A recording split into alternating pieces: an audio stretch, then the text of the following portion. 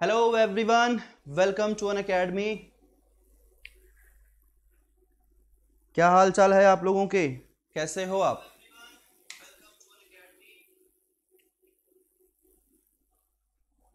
आवाज़ पहुँच रही है मेरी? रिस्पॉन्ड करो जल्दी से आप सभी लोग। आज का टॉपिक क्या है पता आप लोग को? आज का टॉपिक है एनवायरमेंटल इश्यूज़ एनवायरमेंटल इश्यूज़ हम पढ़ रहे हैं आज आज के क्लास में। आगे बढ़ने से पहले आपको क्या करना है? वीडियो को लाइक करना है चैनल को सब्सक्राइब करना है शेयर करना है अपने फ्रेंड्स में, है ना? नेकी का काम एक यही तो बचा है लॉकडाउन में शेयरिंग शेयरिंग खेलना। तो ये काम आप करते रहो, मैं अपना काम यहाँ पे कर रहा हूँ। चलो सब लोग मुझे बताओ।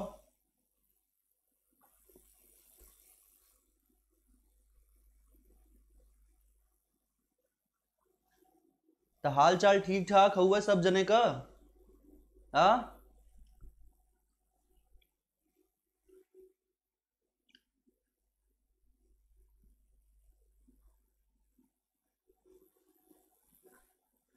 चलो ठीक है। तो देखिए, आज इन्वायरमेंटल इश्यूज़ हम कवर करने वाले हैं। भाई, पढ़ना तो बहुत कुछ है। पढ़ना तो बहुत कुछ है। हमारे पास सिर्फ़ सिक्सटी मिनट है, सिर्फ़ एक घंटे का टाइम है। तो मुझे ऐसा लगता है कि मैं इस एक घंटे में आप लोगों को काफ़ी कुछ बताने वाला हूँ एग्ज़ाम पॉइंट ऑफ़ व्यू से। तो सारी चीज़ों को समझते हुए चलेंगे एक एक करके। आज हम चार तरीके के इन्वायरमेंटल इश्यूज़ को कवर कर रहे हैं। सॉइल वाटर एयर और नॉइज़ पॉल्यूशन देखो भाई, ये सारे टॉपिक अपने आप में बहुत बड़े हैं और इनका लेवल भी काफ़ी ज़्यादा हाई है। तो एक बात मैं आप लोगों से कहूँगा कि एक घंटे की क्लास में मुझसे जितना मैक्सिमम हो सकेगा, मैं आप लोगों को इन्फॉर्मेशन दूँगा।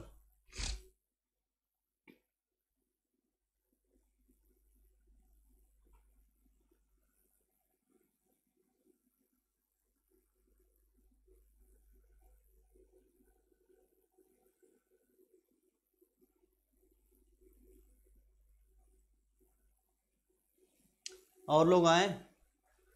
क्या हंड्रेड लोग आ गए हैं? आज का टॉपिक ऐसा है भाई, और लोगों को आना चाहिए।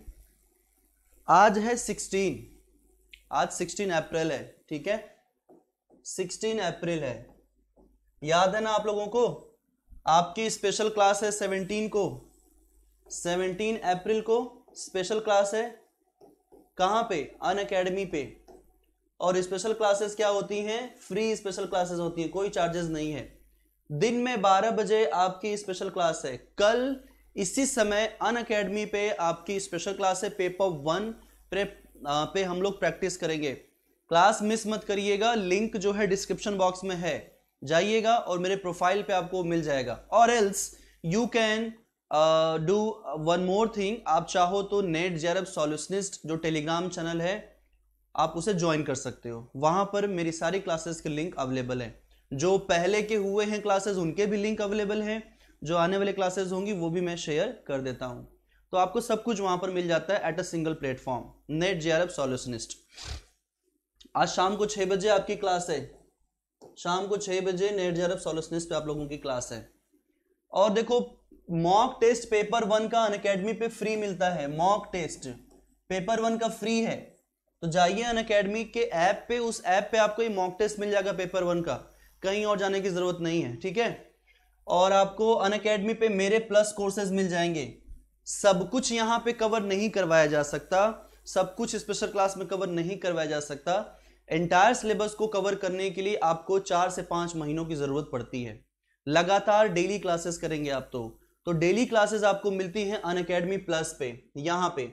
मेरे अलावा और भी एजुकेटर है जो वहाँ पे पढ़ा रहे हैं अपने अपने सब्जेक्ट में। तो आइए अन अकेडमी से जुड़िए प्लस प्लेटफॉर्म पे। गेट सब्सक्रिप्शन पे क्लिक करना है आपको जाकर के वहाँ पे। और ये फ़ी स्ट्रक्चर है।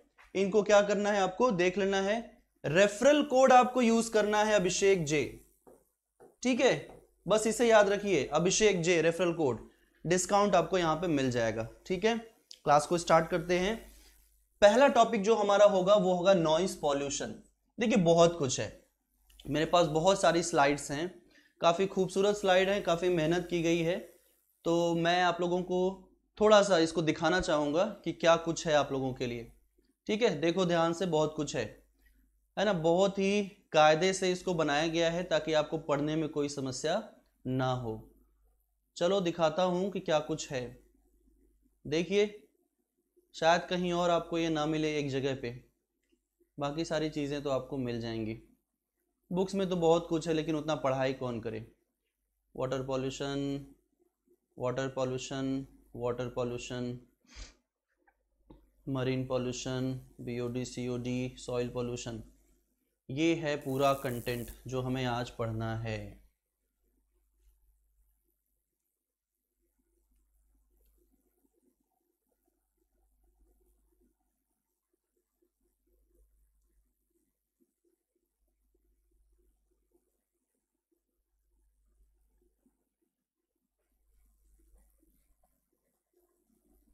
चलिए स्टार्ट करते हैं आज का topic noise pollution what is noise pollution noise pollution basically क्या है? एक एक साउंड का डिस्टरबेंस है. क्या है? एक साउंड डिस्टरबेंस है. जो बेसिकली हम देखें तो कभी कभी क्या होता है? कोई साउंड बहुत नॉर्मल होता है तो हमें सुनने में कोई प्रॉब्लम नहीं होती है. और कभी कभी साउंड का लेवल इतना ज़्यादा होता है कि हमारी हियरिंग कैपेसिटी जो होती है ना, वो डैमेज हो सकती है. ठीक है? तो नॉइस जो ध्वनि प्रदूषण है वो क्या है? एक तरीके का एक्सेसिव ठीक है? एक्सेसिव एंड ट्रबलनेस साउंड है जो कि हमें इंजरीज दे सकता है या फिर हमारे लिए किसी भी तरीके का हेल्थ हेजार्ड जो है उसको क्रिएट कर सकता है। अब अगर बात करें तो क्या नॉइस पॉल्यूशन सिर्फ़ और सिर्फ़ ह्यूमन के साथ ही देखने को मिलता है? नो no, इसके साथ साथ आप देखोगे तो ह्यूमंस के साथ साथ ये एनिमल्स को भी अफेक्ट करती हैं, उन्हें भी प्रभावित करती हैं। हम भी प्रभावित होते हैं एनिमल्स भी प्रभावित होते हैं। कभी देखा है गाड़ियों के पीछे कुत्तों को भौंकते हुए, दौड़ते हुए वो जाते हैं? हाँ वो इसीलिए है क्योंकि गाड़ियाँ इतनी शोर करती हैं कि उनसे, उन्हें मानसिक पीड़ा होती है। है ना? जो हमारी हियरिंग कैपेसिटी है, उनकी भी होती, जो डैमेज हो सकती हैं। अगर देखा जाए तो नॉइज़ पोल्यूशन क्या है? इसी तरीके का हाई लेवल ऑफ़ नॉइज़ जो हमारे इन्वायरमेंट में क्या होता है? ऑलरेडी इन्वायरमेंट में नॉइज़ पॉल्यूशन नेचुरल भी हो सकता है और ह्यूमन क्रिएटेड भी हो सकता है। नेचुरल नॉइज़ पॉल्यूशन की हम बात करें तो थंडर स्टॉमिंग में क्या होती है? लाइटनिंग होती है। और लाइटनिंग से आपने देखा होगा साउंड बहुत ज़्यादा निकलता है। राइट जब बिजली चमकती है, तड़ित झंझा जब होता है, उस वक्त भी हमें ये सिचुएशंस देखने को मिलती हैं।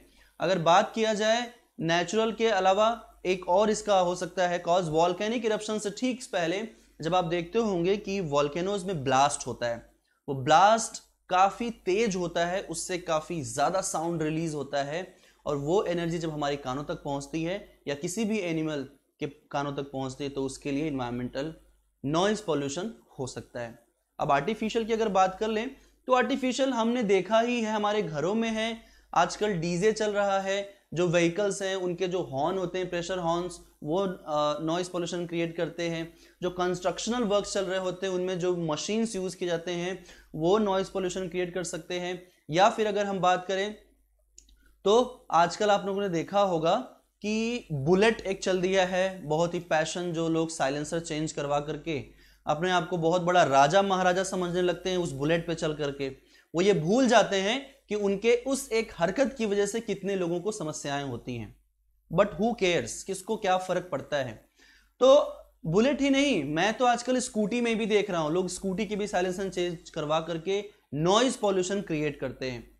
तो ऐसे लोगों को तो मुझे लगता है कि उतार करके और दो लपड़ लगाना चाहिए, उसके बाद उनकी गाड़ी जो है सीज कर देनी चाहिए। ठीक है? खैर, उनका डीएल भी सीज कर देना चाहिए। चलो देखते हैं। अब इसके बाद हम समझते हैं क्या कॉजेज हैं। तो ज़ाहिर सी बात है the number one cause is firecrackers firecrackers यानी कि जो हम पटाखे जलाते हैं, उनसे भी नॉइस पॉल्यूशन होता है। अभी हाल ही में मोदी जी ने कहा था कि सबको थाली पीटनी है। तो लोग थाली तो पीट ही रहे थे, पटाखे भी फोड़ रहे थे। पता नहीं क्यों मोदी जी ने ये कब कहा भाई। हो सकता है जो मन की बात वो करते हैं, मन की बात से लोगों के जो थॉट्स रहे होंगे वो एक्सचेंज हो गए कि मोदी जी ने कहा है कि थाली भी पीटना और पटाखे भी फोड़ने। खैर, इससे भी हो सकता है हमारे इन्वायरमेंट में नॉइज़ पोल्यूशन के ये मेजर सोर्सेज हैं आजकल के डेट में अगर देखा जाए तो। ट्रांसपोर्टेशन जो व्हीकल्स हैं, ये भी यही करते हैं। गाड़ियों से निकलने वाले जो आवाज़ हैं, वो भी इसी की श्रेणी में आती हैं। एक्सेसिव साउंड क्रिएट करते हैं and that's why environmental imbalance हो सकता है। लाउड स्पीकर्स आजकल देखने को मिल रहे हैं। ये लाउड स्पीकर्स कहीं पर भी देखे जा सकते हैं। शादी, विवाह जैसे समारोह से लेकर के नेताजी लोग का जो पार्टी का प्रचार होता है, चुनावी प्रचार तक और जो धार्मिक कार्य होते हैं, वो भी इसमें इंगेज हैं। ठीक है? तो कहीं ना कहीं ये जो लाउड स्पीकर्स है, काफ़ी ज़्यादा आजकल प्रभावित कर रहे हैं हमारे हियरिंग्स को। इसके अलावा जो फैक्ट्रीज और इंडस्ट्रीज़ हैं, ये इसके मेजर सोर्सेज हो सकते हैं। बिल्डिंग कंस्ट्रक्शन साइट जो भी रेजिडेंशियल एरियाज़ में होते हैं, वहाँ के लिए नॉइज़ पॉल्यूशन का कारण ये बन सकते हैं। बात करें डोमेस्टिक हाउस होल्ड्स की तो यस हमारे घरों में क्या होते हैं? हम, हमारे घरों में भी कुछ ऐसे अप्लायंसेज होते हैं जिनसे कि नॉइज़ निकलता है। यानी कि वो एक्स्ट्रा साउंड क्रिएट करते हैं और हमारे घर में ही नॉइज़ पॉल्यूशन हो जाता है। आप अपने किचन में देख लो, ठीक है? बात करेंगे इसके इफ़ेक्ट की। सबसे इंपॉर्टेंट यही है फैक्टर आज का।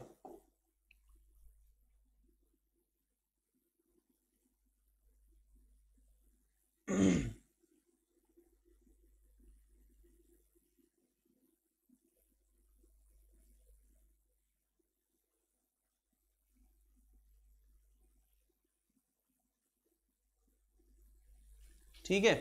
चलो, क्या इफ़ेक्ट हो सकता है? सबसे ज़्यादा इंपॉर्टेंट तो है लॉस ऑफ़ हियरिंग्स और आप बहरे हो सकते हैं, ठीक है? डीफ हो सकते हैं। सबसे बड़ा मेजर इश्यू तो यही है। इसके बाद कार्डियक डिसबैल डिस्टर्बेंसेस भी हो सकते हैं। जो आजकल लोगों को कार्डियक अटैक्स आ रहे हैं ना, बड़ी तेज़ी से, वो भी इसके कारण हो सकते हैं।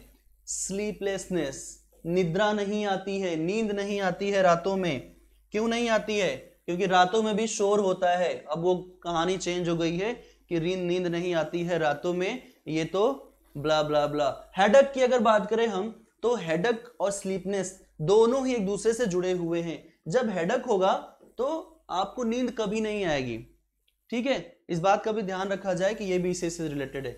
स्ट्रेस टेंशन एग्रेसिवनेस ये नॉइज़ पॉल्यूशन के मेजर इफ़ेक्ट है। जो आज आप उन सभी लोगों में देखेंगे, जो ऑफ़िस जाते हैं या जो बच्चे स्कूल जाते हैं, बच्चे के साथ जो टीचर्स होते हैं, जो कॉलेज जाते हैं, कहीं से भी लोग ट्रेवल अगर कर रहे होते हैं ड्यूरिंग ट्रेवल यात्रा करने के दौरान क्या होता है? बहुत ज़्यादा नॉइज़ हमें देखने को मिलता है। साउंड एक्सेसिव साउंड होता है। और उस कंडीशन में हम कॉन्सेंट्रेट नहीं कर पाते। और जहाँ पर कॉन्सेंट्रेशन नहीं होता है ना वही सबसे डिजास्टर्स कंडीशन होती है हमारे बॉडी के लिए। इसलिए ये भी काफ़ी इंपॉर्टेंट है। इरेगुलर ब्लड प्रेशर अभी कुछ टाइम पहले आपको हाई ब्लड प्रेशर हो सकता है, आपको लो ब्लड प्रेशर हो सकता है। तो लो एंड हाई बीपी भी साउंड पॉल्यूशन के कारण होते हैं भाई। अभी एक दो दिन पहले ही मेरी किसी से बात हो रही थी तो उन्होंने कहा कि अभी ब्लड प्रेशर काफ़ी लो हो गया है। मैंने कहा कि देश का नमक खाइए, टाटा नमक। वो देश का नमक है, वो ब्लड प्रेशर हाई रखता है। ठीक है? मेंटल इंबैलेंसेस की अगर बात करें, भाई, अगर इतनी सारी चीज़ें होंगी आपके साथ, इतने सारे फैक्टर्स होंगे तो भाई, मेंटल इंबैलेंस बैलेंस कैसे रह सकता है? इंबैलेंस तो होना ही होना है। असंतुलित विकास होगा मानसिक हमारे मस्तिष्क का, और इस कारण से हमारे जो नर्वस सिस्टम है, उनके ऊपर भी इफ़ेक्ट पड़ेगा। साइकोलॉजिकल इंबैलेंसेस भी होते हैं, लोग आपको पागल घोषित कर देते हैं। कहते हैं, अरे तो पागल है। बात बात में बोलता रहता है, बड़बड़ाता रहता है। लेकिन कोई उससे ये नहीं पूछता कि भाई प्रॉब्लम कहाँ है? क्या प्रॉब्लम है? ये तो बता दो। तो अगर वो बताएगा कि शोर से मुझे मानसिक पीड़ा हो रही है तो कहेंगे, वाह, बड़े आए हैं अंबानी की फैमिली से।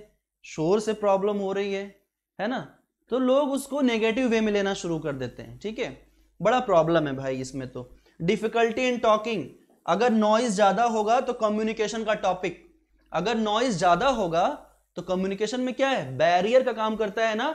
तो इसलिए आप बातचीत करने में भी परेशानी का फील करते हो, ठीक है?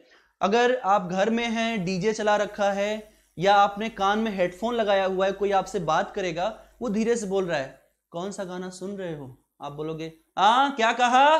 तो आप बोलोगे, अरे यार, इतना तेज क्यों बोल रहे हो? मैं तो सुन पा रहा हूँ। कहने का मतलब ये है कि वो भी एक तरीके का आपके बातचीत करने के लहजे में बदलाव कर सकता है। सबसे इंपॉर्टेंट बात जो है कि ह्यूमन के साथ साथ एनिमल भी इफ़ेक्ट होते हैं। इसलिए एनिमल्स भी हमारे जो जो साउंड हम क्रिएट करते हैं ना, भाई उन्हें भी प्रॉब्लम होती है। इसलिए वो रिएक्ट करते हैं। तो कभी देखिएगा उनको। ठीक है?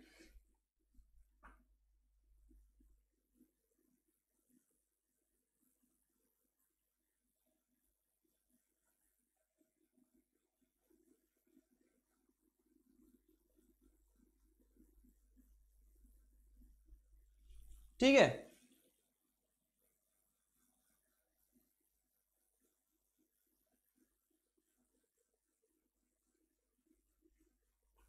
समझ में आ रहा है? अब ये देखो। ये है आपके कानों के पास लगा हुआ ईयरफोन जो साउंड रिलीज़ कर रहा है। सबसे आसान भाषा में समझने का यही पिक्चर है। ये नॉइस के लेवल्स हैं। जो ग्रीन की तरफ़ आप देख रहे हो ना ये आरामदायक हैं। आ हा हा कितनी मधुर संगीत बज रही है कानों में। लेकिन जब आसपास लोग ज़्यादा बातचीत करने लगते हैं, अरे आ गए डिस्टर्ब करने तो आप क्या करते हो? उसका वॉल्यूम बढ़ा देते हो। वॉल्यूम वन टू से फाइव सिक्स पे चला जाता है। जब फाइव सिक्स पे आएगा तो ये वाली कंडीशन हो जाती है। येलो जोन में आप आ जाते हो। लेकिन अगर घर में किसी भी दो रिश्तेदारों के बीच में, किसी भी तरीके का कोई प्रायोजन हुआ, कोई बातचीत शुरू हो गई तब क्या होता है? आपके ईयरफोन में जो, आपके कानों में जो ईयरफोन लगा हुआ है, वो रेड लेवल पे आ जाएगा। वैसे रेड लेवल तो हम लोग शायद मॉर्निंग में टी के फॉर्म में भी लेते हैं, लेकिन ये जो देख रहे हो आप ना, ये लेवल जो है बहुत ही डिजास्टर्स है, बहुत ही खतरनाक है। खैर, मुझे बताने की ज़रूरत नहीं है, ये पॉइंट्स बड़े इंपॉर्टेंट हैं। ठीक है? चलो इनको बताता हूँ डिकोड करता हूँ जल्दी से। अगर बात करें, समय कितना हो गया है, समय का विशेष ध्यान रखना है।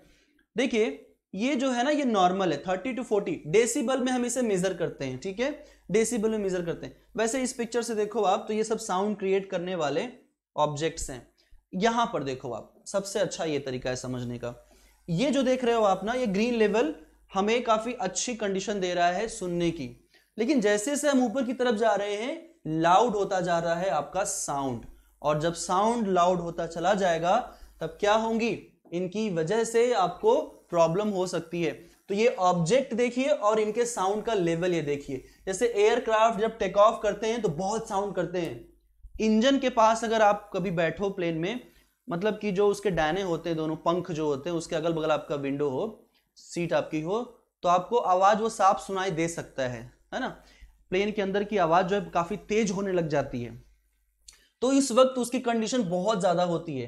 कान हमारे बंद हो जाते हैं क्योंकि हम ऊपर जा रहे होते हैं एयर प्रेशर कम होता रहता है। खैर, इसको देखिएगा, ये काफ़ी इंपॉर्टेंट है। सबसे ज़्यादा इंपॉर्टेंट है ये वाला सेक्शन सबसे ज़्यादा इंपॉर्टेंट है। ये जो है रेजिडेंशियल ठीक है? Residential commercial industrial and silence zone को डेसिबल में डिवाइड करता है कि डे टाइम में कितने डेसीबल साउंड का लेवल होना चाहिए और नाइट टाइम में कितने डेसीबल साउंड का लेवल होना चाहिए। तो नंबर वन है यहाँ पर इंडस्ट्रियल एरिया, जो कि 75 डे टाइम में डेसिबल होना चाहिए और नाइट टाइम में 5 रिड्यूस होकर के 70 हो गया है। वहीं बात कॉमर्शियल की करें तो कॉमर्शियल एरिया जो है वो 65 के बीच में नॉइस का लेवल होना चाहिए और नाइट टाइम में 55 हो जाएगा। रेजिडेंशियल एरिया की बात करें तो ये डे टाइम में 55 और नाइट टाइम में 45 और साइलेंस जोन की अगर बात करें तो 50 हो जाएगा डे में और 40 हो जाएगा नाइट में। लेकिन क्या लेकिन क्या इतने डेसिबल ये स्टैंडर्ड है डब्ल्यू का? ये डब्ल्यू का world health organization Trump ji ने आज ही घोषणा की मतलब कल ही की न्यूज़ आज मिला कि डब्ल्यू की फंडिंग उन्होंने अपनी तरफ़ से रोक दी है। वेल well, इंडिया ऐसा नहीं करता इंडिया हमेशा ऑन टाइम अपनी फंडिंग जो है डब्ल्यू में डिपॉजिट करता है। ट्रंप जी थोड़े से थोड़े से उनको समझना चाहिए कि इस वक्त कंडीशन बहुत खराब है कोविड नाइन्टीन को लेकर के। याद रखिएगा, ये क्वेश्चन एग्ज़ाम में पूछा जा सकता है। ना हमारा टॉपिक यहाँ पर एंड होता है नॉइस पॉल्यूशन ये भी देख लो आप लोग, उतना सारे डेटा मैंने यहाँ रख रखे ये सब कुछ मैंने प्लस कोर्स में बहुत अच्छे से पढ़ाया है। प्रिवेंशन वगैरह देख लेना, इसमें को मैं पढ़ाने नहीं जा रहा हूँ। आते हैं number two air pollution very important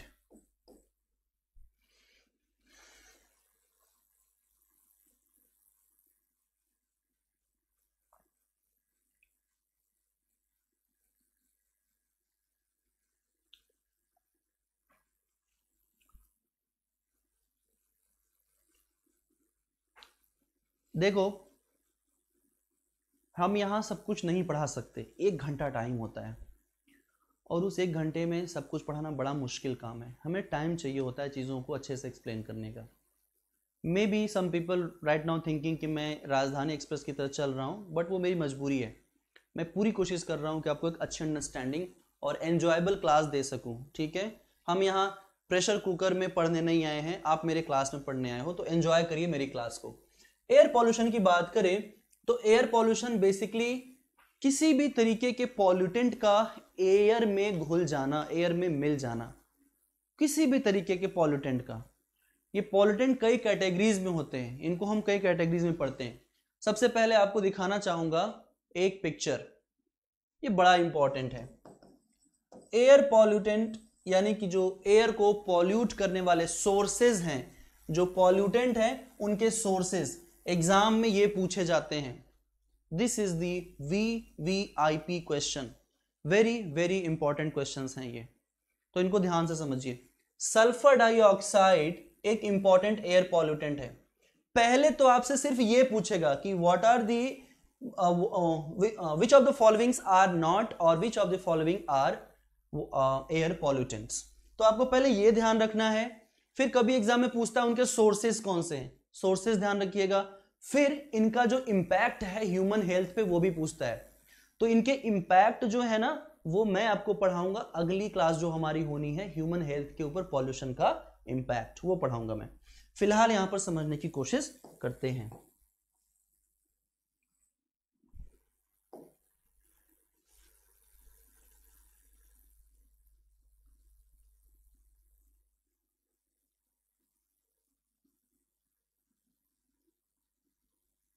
चलो, देखते हैं सल्फ़र डाइऑक्साइड। सल्फ़र डाइऑक्साइड एक इंपॉर्टेंट एयर पॉल्यूटेंट है।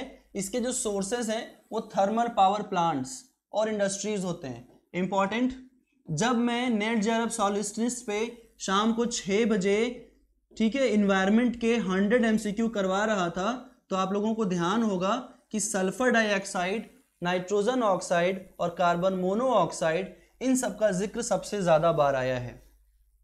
शाम को छः बजे जो हमारी हंड्रेड एम हो रही थी इन्वायरमेंट की important expected NET J R F channel पे, वहाँ पर मैंने बताया था। तो ये बड़ा इंपॉर्टेंट है, इसको ध्यान रखना है आपको। नंबर टू है नाइट्रोजन ऑक्साइड ये भी थर्मल पावर प्लांट से निकलते हैं इंडस्ट्रीज़ से निकलते हैं। ऐड हो जाता है व्हीकल्स जो गाड़ियाँ होती हैं, वो भी इसे रिलीज़ करती हैं। Okay important now suspended particulate matters जिन्हें हम एसपीएम कह सकते हैं। ठीक है? ये एसपीएम है। एसपीएम कह सकते हैं। ये कहाँ से निकलते हैं? तो इनके निकलने का जो सोर्स है, वो है व्हीकल एमिशंस यानी जो स्मोक निकलते हैं ना, धुएँ गाड़ियों से।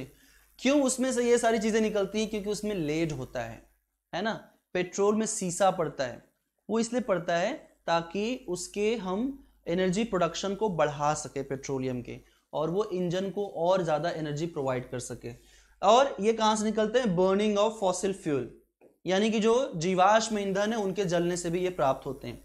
Carbon monoxide very very important पूछा गया है। ये भी वेहिकुलर एमिशन यानी कि गाड़ियों से निकलने वाले धुएँ होते हैं, वहाँ से निकलते हैं। इनका भी सोर्स वही है फॉसिल फ्यूल यानी कि जीवाश्म ईंधन से निकलते हैं ये।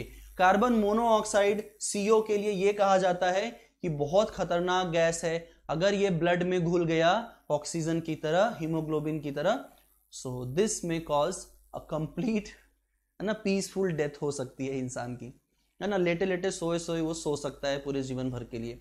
इसलिए कहा जाता है क्वेश्चन पूछा गया है एग्ज़ाम में कि कभी भी बंद कमरे में अंगीठी या फिर कोई भी फॉसिल फ्यूल को एज हम उसको एज अ हीटर बना करके ना रखें, क्योंकि जो स्मोक निकलेगा, वो हम डायरेक्ट ऑक्सीजन के थ्रू जब हम इनहेल करते हैं तो हमारे ब्लड में आ सकता है। इसलिए बड़ा इंपॉर्टेंट है ये।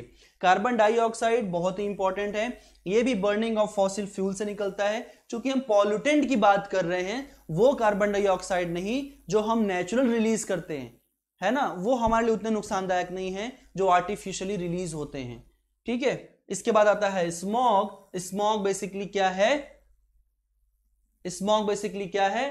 Smog is equal to smoke and fog ठीक है? इन दोनों के कॉम्बिनेशन से बनता है स्मॉग ठीक है? इसके बाद देखिए तो स्मॉग के जो सोर्सेज हैं, वो है इंडस्ट्रीज़ हैं और वेहिकुलर पॉल्यूटेंट्स हैं। यानी कि जो गाड़ियाँ चलती हैं, वही स्मॉग रिलीज़ करती हैं। विंटर सीज़न में स्मॉग का इंपैक्ट ज़्यादा देखने को मिलता है। विंटर सीज़न में, सीज़न भी ध्यान रहे, ठीक है? इसके बाद देखो, ओजोन हो गया, ये हो गया हमारा, ओजोन हो गया, ओजोन को बेसिकली हम कहते हैं सरफेस ओजोन ठीक है? यानी जो सतही ओजोन होता है, सतही मतलब हमारे एटमोस्फियर के लोअर लेवल पे। वो जो स्ट्रेटोस्फियर में ओजोन है ना ओ थ्री वो हमारे लिए नुकसानदायक नहीं है। अगर वो चला गया तो क्या हो जाएगा? जो इनकमिंग सोलर इंसुलेशन है, वो हमें कई तरीके के स्किन डिज़ीज़ जो है दे करके जाएँगे। फिर बैठ करके हम लोग जो है यही करेंगे, ठीक है? नेक्स्ट ओजोन का जो इमिशन होता है, वो ज़्यादातर ऑटोमोबाइल यानी कि जो व्हीकल्स हैं, वही निकालती हैं। अगर देखा जाए तो ओजोन डायरेक्ट नहीं बनता है। ओजोन क्या है? एक सेकेंडरी सोर्स ऑफ़ पॉल्यूटेंट है। क्योंकि ये दो प्राइमरी पॉल्यूटेंट के सन सोलर इंसुलेशन के प्रेजेंस में क्या होता है? उनके टूटने के कारण, उनके स्प्लिट होने के कारण एक नया पॉल्यूटेंट बनता है, उसे हम सेकेंडरी कहते हैं और ओजोन उसी में आता है। बात करेंगे सीएफसीज की तो सीएफसी बड़े इंपॉर्टेंट है कार्बन क्लोरोफ्लोरोकार्बन जो कि रेफ्रिजरेटर से निकलते हैं। जो स्प्रे हम लोग करते हैं ना स्प्रे करते हैं, वहाँ से भी निकलते हैं।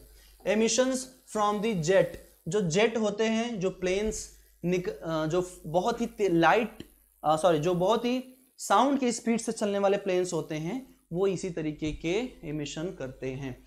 हाइड्रो क्लोरो हाइड्रोकार्बन जो हैं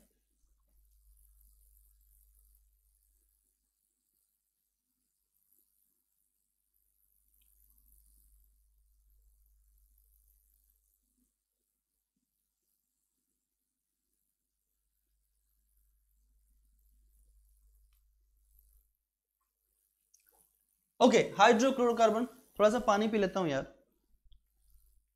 क्या कहते हो? पानी भी खत्म हो गया है। अच्छा जाने तो कोई बात नहीं, दूसरी क्लास में।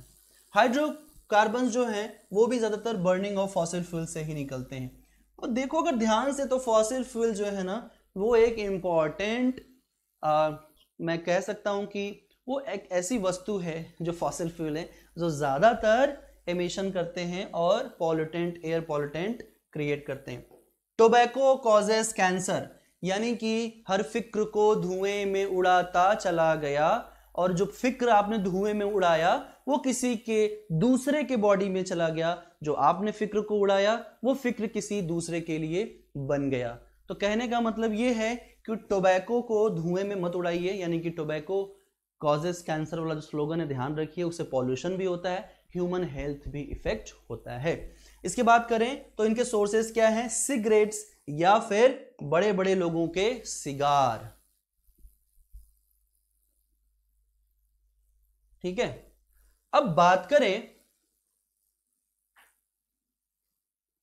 अब बात करें मरकरी। मरकरी बार बार एग्ज़ाम में पूछा गया है। मरकरी को बार बार एग्ज़ाम में पूछा गया है। मरकरी भी इंडस्ट्रियल जो स्मोक होते हैं ना, उनसे ही निकलते हैं। मरकरी और लेड दोनों ही इंपॉर्टेंट हैं।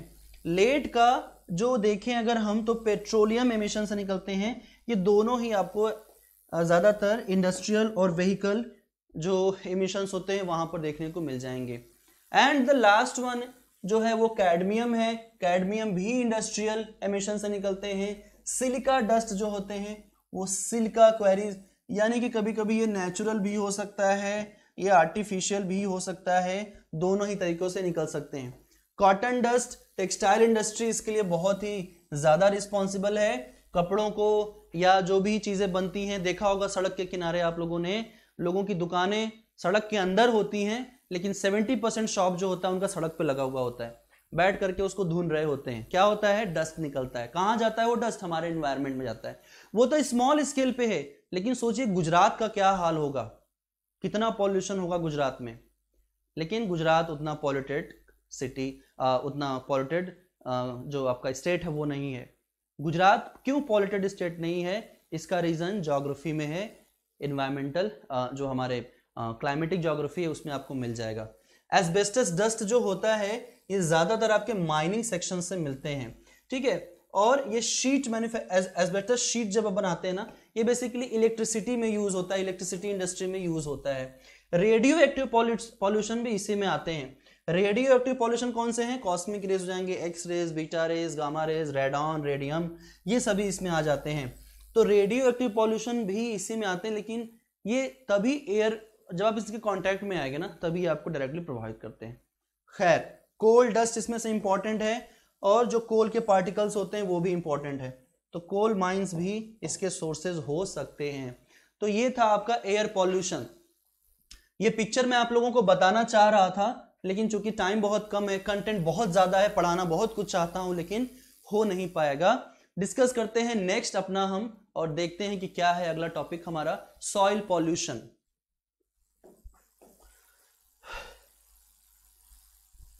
नहीं अलग अलग हैं।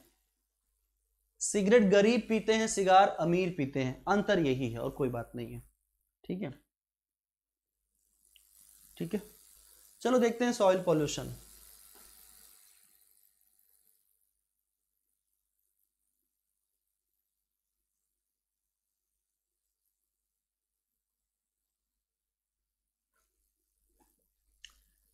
सॉइल यानी कि मृदा, यानी कि मिट्टी.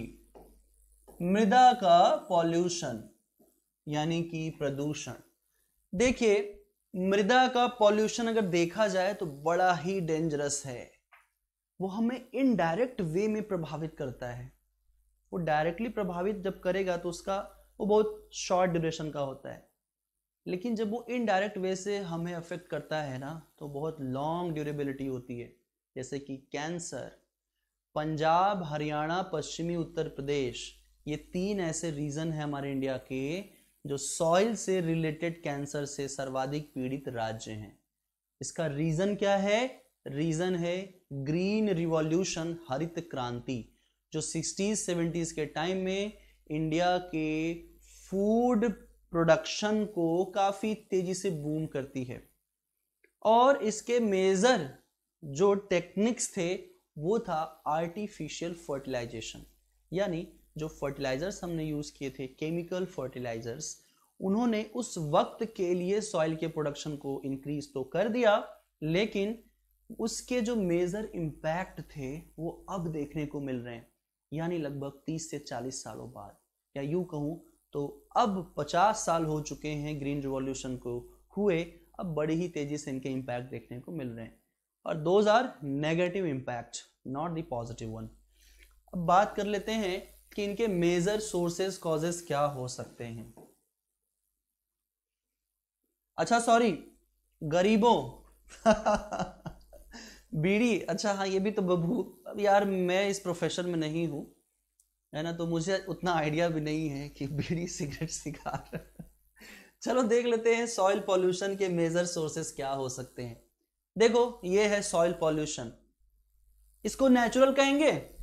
Is this a natural pollution क्या ये नेचुरल है? नेवर सॉइल पॉल्यूशन कभी भी नेचुरल नहीं हो सकता। सॉइल पॉल्यूशन जब भी होगा, वो आर्टिफिशियल ही होगा। सॉइल पॉल्यूशन किसी भी तरीके से नेचुरल नहीं हो सकता, क्योंकि नेचर कहीं पर भी पॉल्यूशन करती है तो उसे रिमूव भी करती है। Through the various type of cycles पढ़ा था ना हम लोगों ने, कल की क्लास में प्लस क्लास में कौन कौन से साइकिल्स थे? बहुत सारे साइकिल्स थे। न्यूट्रिएंट साइकिल था एनर्जी साइकिल था फॉस्फोरस साइकिल था, ठीक है? और हाइड्रोजन या फिर कार्बन कार्बन साइकिल था, कार्बन डाइऑक्साइड और ऑक्सीजन साइकिल था, है ना? बहुत सारे साइकिल्स थे। वो क्या करता है कि उनको मेंटेन करने की कोशिश करता है। लेकिन ना हम लोगों ने ये आर्टिफिशियली किया हुआ है। तो सबसे पहले समझेंगे प्लास्टिक बैग्स प्लास्टिक बैग जो है, बड़े ही लंबे समय तक हमारे सॉइल में रहते हैं। ये पता है, बहुत लंबे मतलब 200 साल 300 साल 400 साल तक भी रह सकते हैं। इनका कोई खात्मा नहीं होता है। इनका खात्मा तभी होगा जब हमारी पृथ्वी पूरी तरीके से समाप्त हो जाए। ऐसा हम कभी नहीं चाहेंगे। हम चाहेंगे कि इन प्लास्टिक बैग्स को रिप्लेस किया जाए ऐसे डिग्रेडेबल थिंग्स में जिनको कि हम इन्वायरमेंट में डिग्रेड कर सकें। डिकम्पोजिशन उनका हो सके नेचुरल तरीके से। ठीक है? इंडस्ट्रियल सोर्सेज होते हैं। इंडस्ट्रियल सोर्सेज बहुत सारे हैं।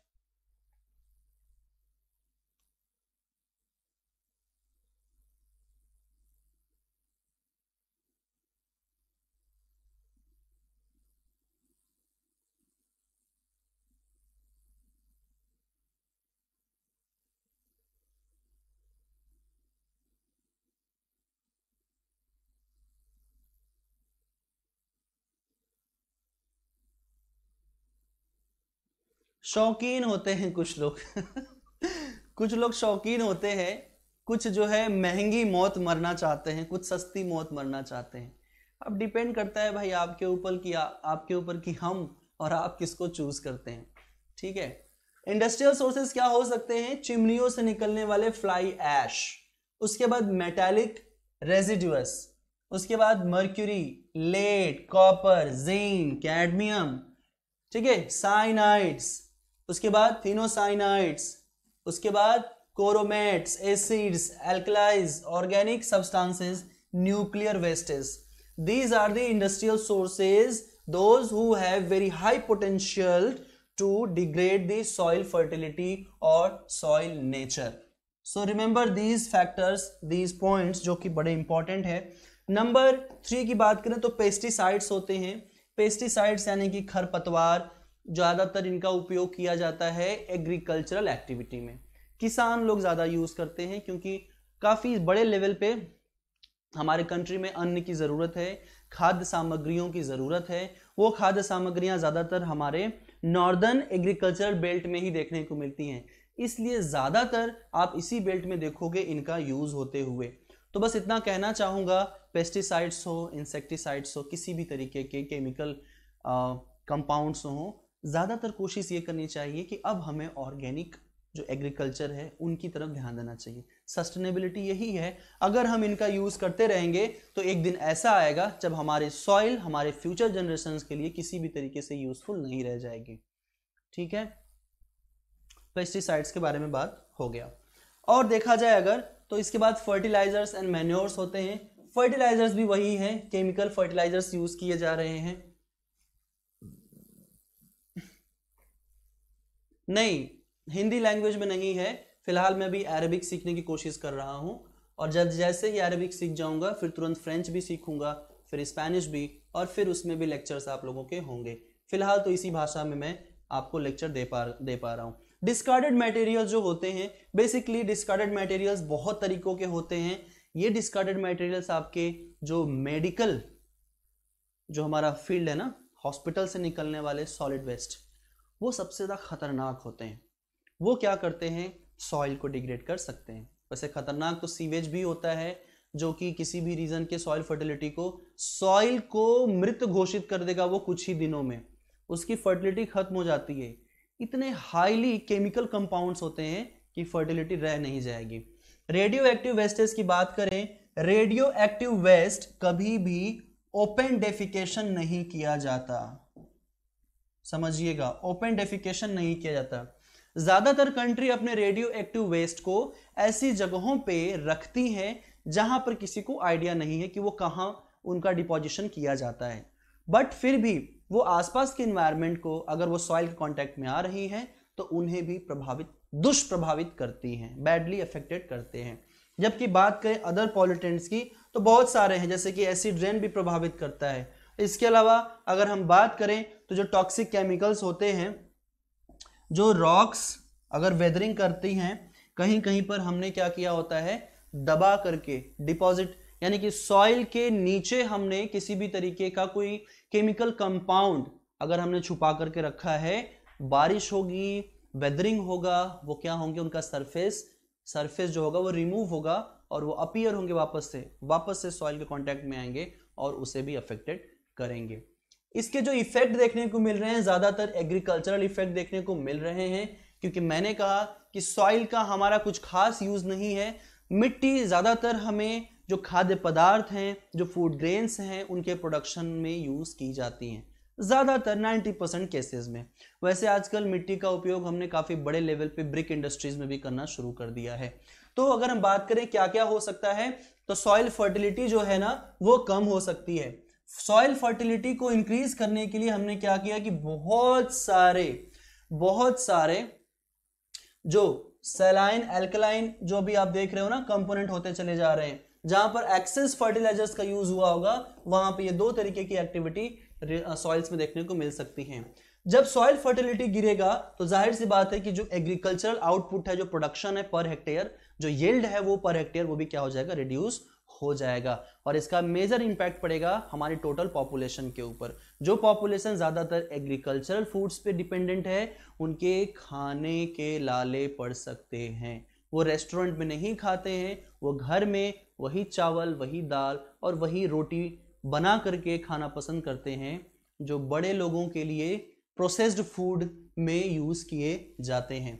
इसके अलावा सॉइल इरोजन हो सकता है अगर फॉरेस्ट हम काटेंगे वेजिटेशन लॉस होगा एग्रीकल्चरल एक्टिविटीज़ के लिए तो इसलिए क्या होगा? इंक्रीज हो सकता है।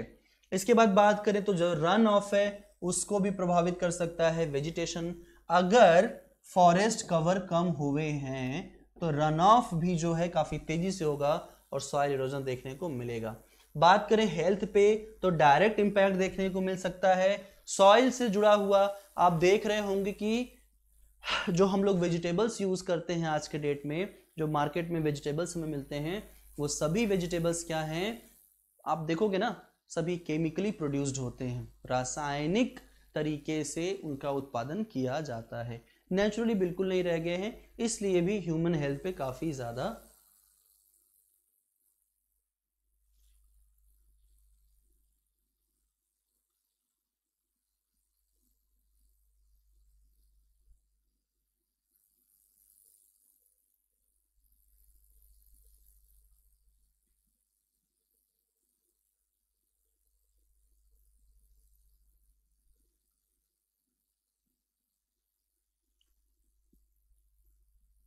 अरे, हटाओ। वो कल वाला स्लोगन भूल गया क्या कि शुरुआत मजबूरी में की थी? शुरुआत मजबूरी में की थी। हाँ? अब मज़ा आ रहा है। भूल गए? एनवायरमेंटल प्रॉब्लम्स भी क्रिएट कर सकते हैं। इकोलॉजिकल इम्बैलेंस हो सकता है। ज़्यादातर आप देखोगे तो जो गैसेज होते हैं, अगर वो रिड्यू निकलेंगे तो उनसे काफ़ी ज़्यादा एनवायरमेंटल इश्यूज़ देखने को मिल सकते हैं। और सबसे बड़ा इशू क्या है पता है? वेस्ट मैनेजमेंट इतना ज़्यादा सॉलिड वेस्ट जो आप देख रहे हो ना इस सॉलिड वेस्ट को मैनेज करना बड़ा मुश्किल काम है। दिल्ली में जो पहाड़ बने हुए हैं सॉलिड वेस्ट के, वो पहाड़ ऐसे ही सॉइल पॉल्यूशन के लिए रिस्पॉन्सिबल हैं। ठीक है? चाहे आप इस पिक्चर में देखो, ठीक है? ये कर रहे हैं केमिकल छिड़काव। ये केमिकल फर्टिलाइजर्स यूज़ किए जा रहे हैं। और ये इंडस्ट्रीज़ से निकलने वाले वेस्ट हैं। क्या कर रहे हैं? ये सॉइल की फर्टिलिटी को बढ़ा रहे हैं? कभी नहीं। ये सॉइल की फर्टिलिटी को कम कर रहे हैं। और ये फर्टिलिटी एक दिन हमारे लिए काफ़ी ज़्यादा खतरनाक हो सकती है। आते हैं नेक्स्ट आपका टॉपिक है water pollution very important topic इसको भी पढ़ लेते हैं जल्दी से।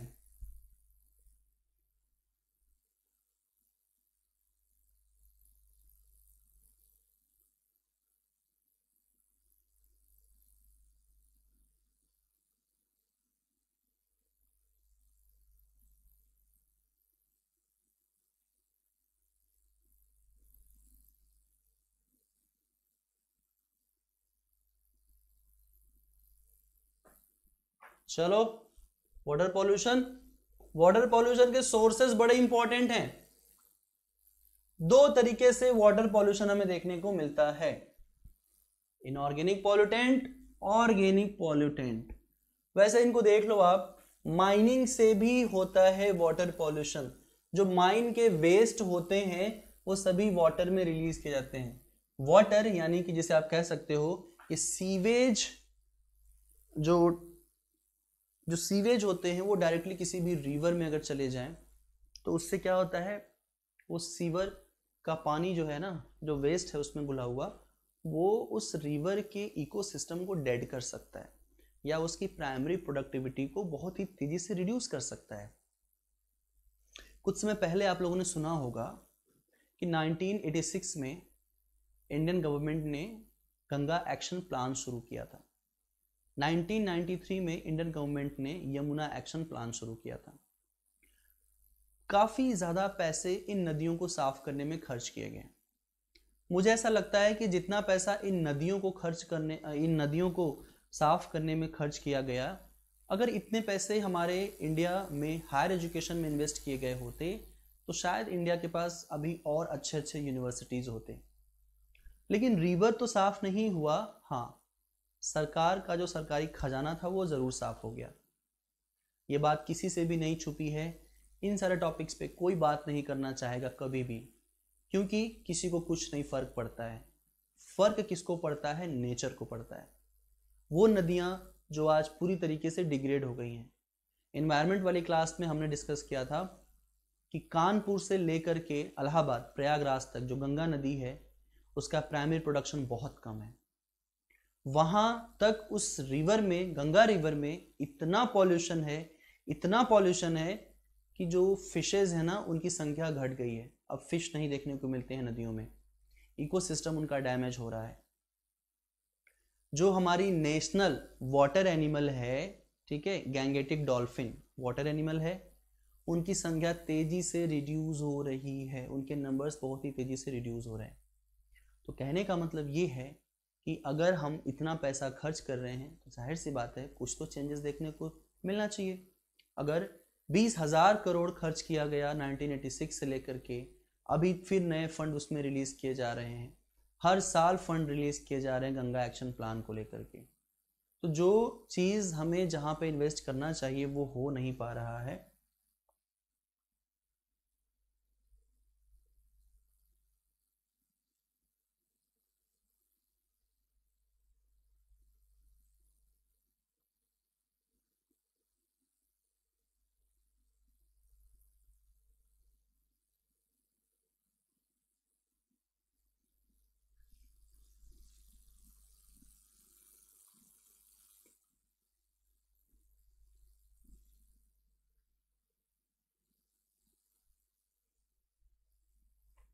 हाँ जो सरकार नहीं कर पाई, वो कोरोना ने।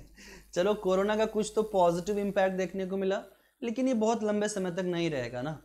वो तो जब तक इंडस्ट्रीज़ बंद हैं प्रोडक्शन बंद है तो वो रिलीज़ नहीं कर रहे हैं किसी भी तरीके के वेस्ट को। जब वो वेस्ट को रिलीज़ ही नहीं करेंगे तो ज़ाहिर सी बात है कि जो पॉल्यूशन है, वो लेवल तो कम होगा ही। लेकिन ये फिर बहुत ही तेज़ी से बढ़ेगा, क्योंकि प्रोडक्शन इतना कम हो गया है फिर प्रोडक्शन को बढ़ाने के लिए दिन रात लोग लगेंगे। मल्टीपल टाइम प्रोडक्शन को बढ़ाया जाएगा। और इससे क्या होगा? हमें वेस्ट देखने को मिल सकते हैं। चलो। तो माइनिंग हो गया। माइनिंग में क्या देखोगे आप? इस तरीके के एक्टिविटी हमें देखने को मिल सकते हैं। Various type of metals chlorides देखने को मिल सकते हैं। क्लोराइड्स बहुत खतरनाक है वाटर को कंटेमिनेट करते हैं। फेरस सल्फेट है सल्फ्यूरिक एसिड है। हाइड्रोजन सल्फाइड है फेरिक फेरिक हाइड्रोक्साइड है सरफेस वॉश ऑफ़ है, यानी कि सरफेस का जो सॉइल है जब वो रन ऑफ़ के थ्रू चला जाता है रिवर्स में या अंडरग्राउंड वाटर में परकुलेट हो जाता है सस्पेंडेड सॉलिड्स हैं क्लोराइड्स एंड हैवी मेटल्स ये सब आपको माइनिंग इंडस्ट्रीज़ से देखने को मिल सकते हैं।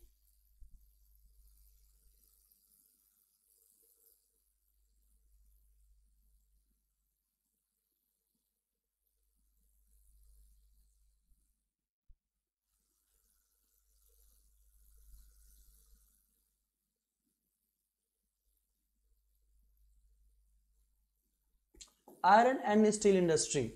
ये भी क्या करते हैं? सस्पेंडेड सॉलिड्स रिलीज़ करते हैं। आयरन के जो साइनाइड्स होते हैं, थाइनोसाइनाइड्स होते हैं, sulphides, oxide of copper, chromium, cadmium and mercury, ये सभी इस इंडस्ट्री से निकलते हैं। केमिकल प्लांट्स जो होते हैं, ज़्यादातर एसिड रिलीज़ करते हैं, जो कि सॉइल और वाटर दोनों को एल्कलाइन करते हैं। क्लोराइड्स रिलीज़ करते हैं, सल्फेट, नाइट्रेट्स रिलीज़ करते हैं। फॉस्फोरस रिलीज़ करते हैं, फ्लोराइड्स रिलीज़ करते हैं, सिलिका और सस्पेंडेड पार्टिकुलर्स रिलीज़ करते हैं। फार्मास्यूटिकल की अगर बात करें तो ये ज़्यादातर आपको ऑर्गेनिक कार्बोहाइड्रेट्स देखने प्रोटीन, कार्बोहाइड्रेट्स, ऑर्गेनिक सॉल्वेंट देखने को मिलते हैं, ड्रग्स एंड जो अदर केमिकल्स जो होते हैं ना, वो सूप, सोप एंड डिटर्जेंट, ये एक तरीके से कंपाउंड्स ये आपके कंपोनेंट्स होते हैं जो सोप और डिटर्जेंट बेसिकली डायरेक्ट ये हमारे वाटर को डिग्रेड करते हैं डायरेक्टली डिग्रेड करते हैं। फ़ूड प्रोसेसिंग इंडस्ट्री में भी ज़्यादातर आपको, जो ज़्यादातर ऑर्गेनिक मैटर होते हैं, है ना, ये पॉल्यूट करते हैं। Paper and pulp industries important है, ये सल्फाइड्स रिलीज़ करते हैं और ब्लीचिंग लीकर्स जो उन्हें साफ़ सफ़ाई करने के लिए यूज़ किया जाता है, इनको रिलीज़ करते हैं। ठीक है fibres vote, sugar, organic acid सब रिलीज़ किया जाता है। तो ये कुछ चीज़ें हैं जो आपको देखना है वाटर पॉल्यूटेंट के तौर पर। ये सभी वाटर पॉल्यूटेंट है, इस बात का ध्यान रखिएगा। ठीक है?